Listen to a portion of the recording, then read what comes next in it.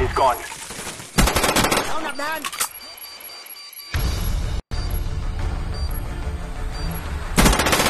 Chuẩn bị Đi có chức vụ ready for deployment.